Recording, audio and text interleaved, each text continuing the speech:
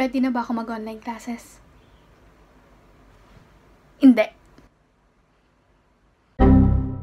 Hi guys! I'm Bianca and this is Pasian Techie Series. Shring!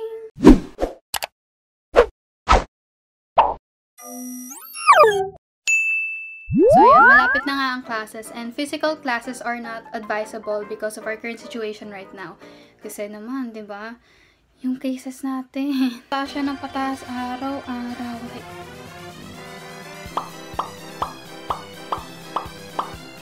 That's why we will be attending school through online classes. And for today, I will show you guys an online learning platform that will be useful for our online classes. And it is called Edmodo.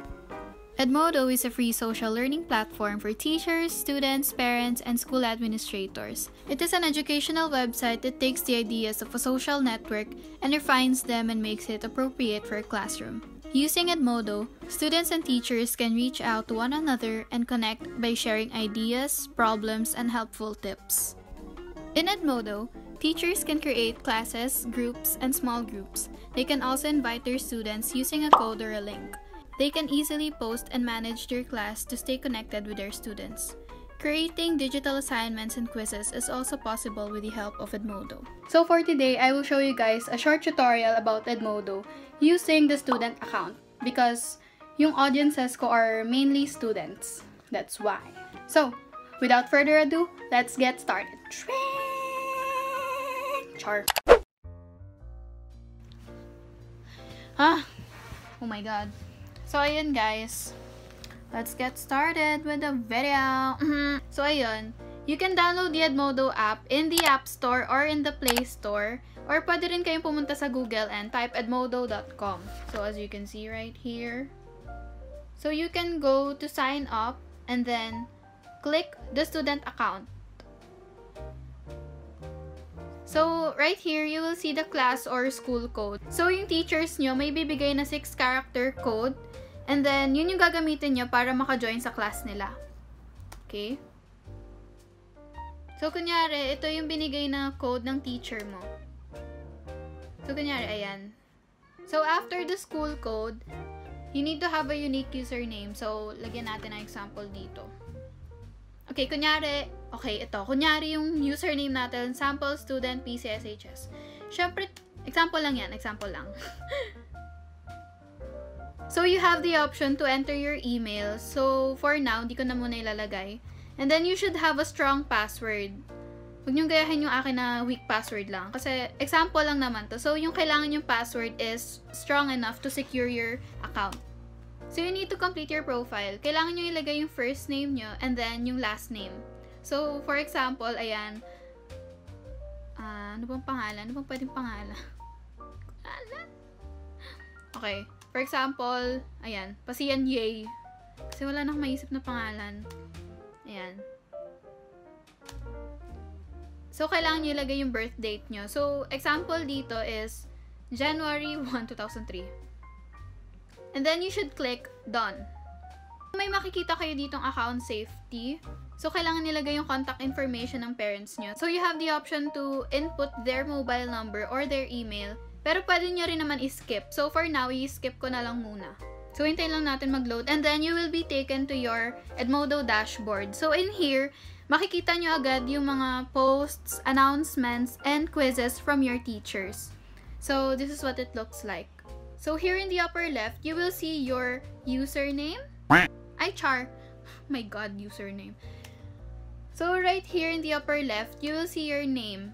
So, ayan pangalan natin. Pasiyan Yay. Parang... So, ayan, dyan yung makikita. And below your name, makikita nyo yung my classes, my groups, and my parents. So, may makikita ko yung code and pwede nyo, ilag pwede nyo itong ibigay sa parents nyo para makagawa rin sila ng Edmodo account. Because here in Edmodo, um, parents can connect to their children using the parent code. So makikita ng mga parents yung different posts, announcements made by the teachers so that they can also help their children to keep in track. And lastly, the parents can also send direct messages to the children's teacher if ever they have questions or concerns regarding their children's performance. So that's it for the parent code. So here in the upper right corner, you can click your profile and you can edit your personal information and you can also change your profile picture but okay na ka dyan. Okay na ako dyan sa profile picture na yan. So it is up to you if you want to personalize your profile and add more informations to it. So here in the profile, you can see the activities and progress. So here in the activity section, you can see the posts and replies made by you. But for now, since sample lang naman to, wala pang progress yan. So here in the progress section, you will be updated from time to time whenever you take your quizzes or whenever you submit your assignments. But for now, since wala pa tayong progress, 0% pa lang yan. So, let's go back to the home page.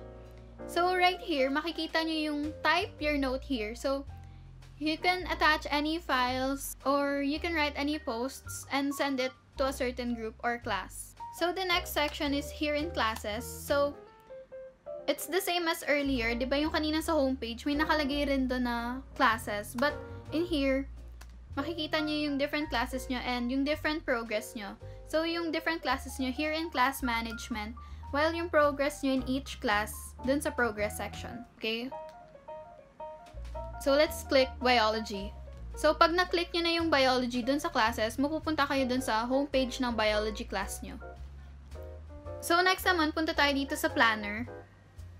As you can see, dito nyo makikita yung upcoming tasks and events that you need to accomplish. So, the planner is important kasi makikita nyo dito yung mga upcoming activities na kailangan nyo tapusin. And it is really important when it comes to time management. Para hindi ka mag-procrastinate. Nagsalita yung procrastinator. Oh my God! Also, here in Edmodo, we have the backpack. So, para lang siyang cloud storage system or Google Drive wherein you can add links and files of your homework and then you can access them everywhere. You can also link your Google Drive in here if you have a Gmail account. So when using Backpack, just click on New and then choose the file that you will be uploading to your Backpack. So there are other things here in Edmodo. So we have the Discover section wherein you can see different games and apps that you can try whenever you're bored or you just want to explore Edmodo. So for the last section na nakikita nyo dito sa taas, is the messages. So in here, you can direct message your teachers whenever you have questions, clarifications, or other concerns regarding their subject. So let's go back to your home page and then makikita nyo dito yung parang bell which is the notifications. So here in the notification sections, you can see all of your notifications. Obviously. Obvious naman. So, as of now, ito yung notifications ko, quiz 1 and homework 1. Per example lang yan.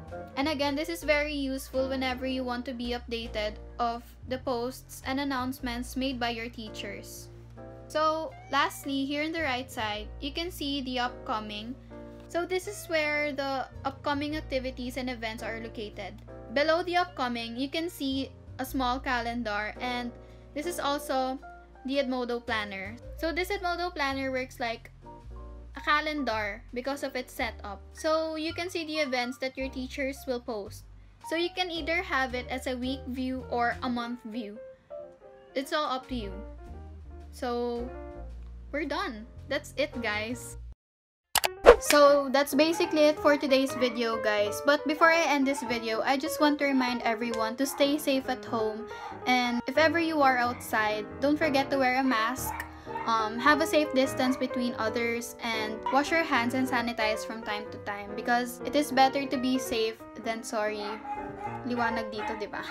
Kaloka. So, ayun. I hope you enjoyed this video, guys. So, don't forget to give this video a like, subscribe, and don't forget to click that notification bell down below para maging updated sa susunod na content ng Dapasian TV.